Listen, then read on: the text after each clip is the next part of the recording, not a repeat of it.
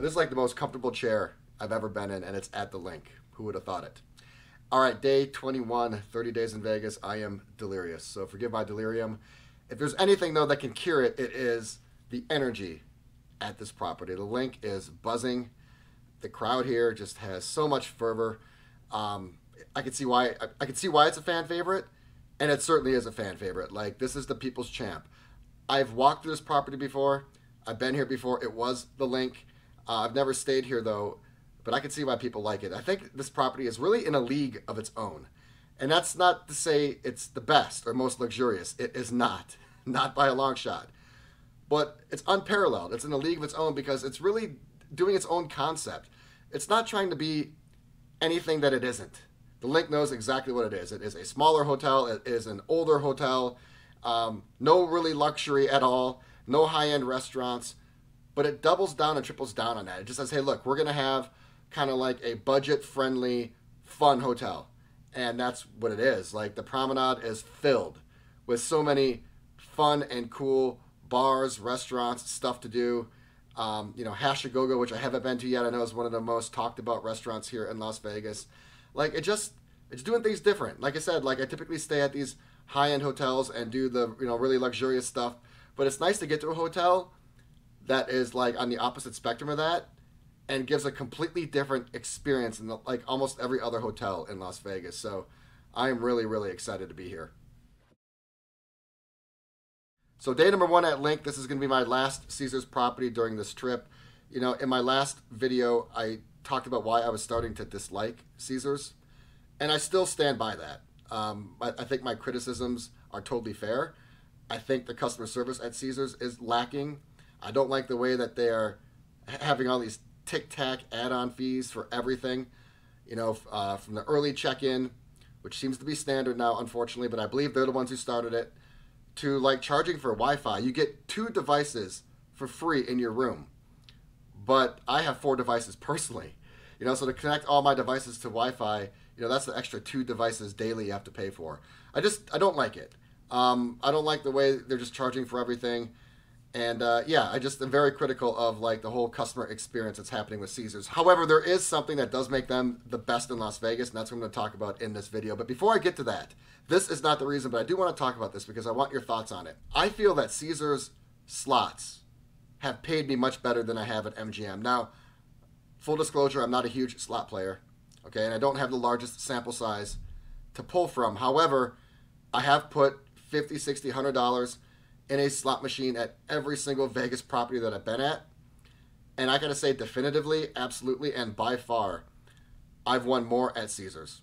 A lot more. Not only in like the times I've cashed out with money in my pocket, but the amount of money in my pocket as well. All my big wins have come at Caesars, uh, and most of my wins have come in, at Caesars overall. Now, this could be totally random. There's no science behind it. You know, like I said, it's a small sample size. It's just me. But it's pretty obvious, at least to me, that I've won a lot more at Caesars. So, do you feel that Caesars slots pay more?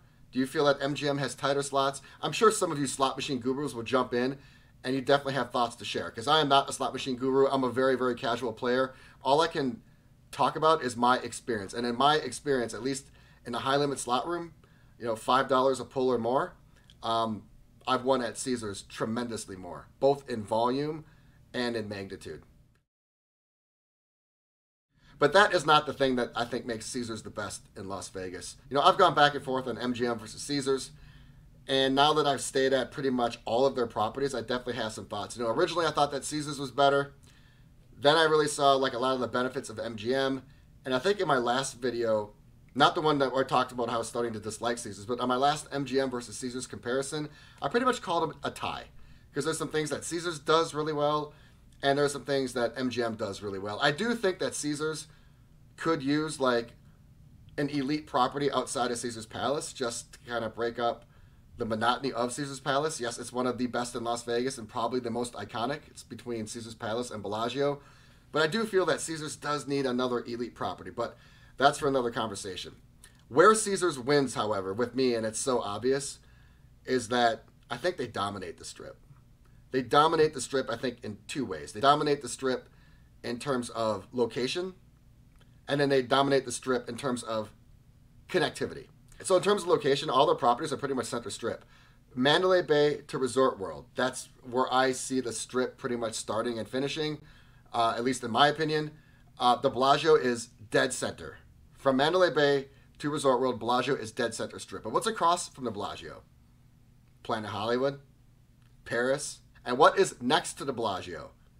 Caesar's Palace. You know, and then you have Cromwell, and then you have Bally's, and then you have Flamingo and Harrah's. Like all these properties are pretty much center strip. And the great thing is, is that all of their properties are pretty much connected, either via walkway or they're connected to each other. So you have Planet Hollywood that flows into Paris, and that flows into Bally's. And, you know, that kind of leads into Cromwell, and that kind of leads into Flamingo and Harrah's, and they're all connected. So if you really like to have that Caesars ecosystem, or if you like to jump around Caesars properties and really work the rewards program, you can pretty much stay at any one of those hotels and have all those properties at your disposal that are walkable. That's the thing is that all the properties are connected and they're all walkable. And not only are they walkable, they're just easily walkable. They're not that short of a distance. Like I said, they're all connected. And of course, you have the walkway that goes across the strip to lead over to Caesar's Palace. So the ecosystem is just so tightly knit. It's like perfectly laid out. I think that's what MGM is trying to do. You know, MGM is really, you know, trying to invest on the south side of the strip. I think that's why they got rid of the Mirage. So now most of their properties are city center and south. And it really makes it a lot easier. Like when I was at Luxor, it was really easy to get around. I mean, it was easier to walk to Mandalay Bay. It was easy to walk to Excalibur. You had MGM Grand down the road. That kind of leads into Park MGM. It's really great when the ecosystem is close together. Now, the difference between Caesars and uh, MGM is that Caesars properties are centrally located on the strip. If you want to jump around MGM properties, you pretty much got to go all the way to the south end and then you're kind of isolated out there.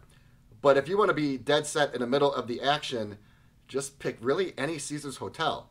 And then you have all the other properties at your disposal. And of course, you have all the other strip properties that aren't part of Caesars right at your disposal because you're center strip. So, in those two ways, I think Caesars is the best in Las Vegas. I'm not calling Caesars the best.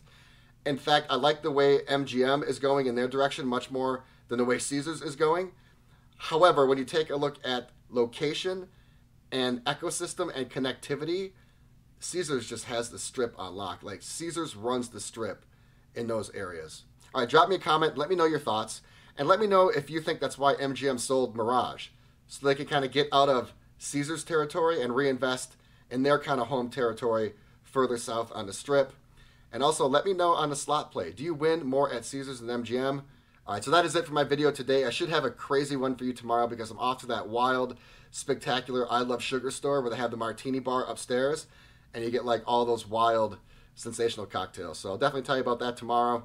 Uh, but for now, I'm signing off, and I'll see you in the next video.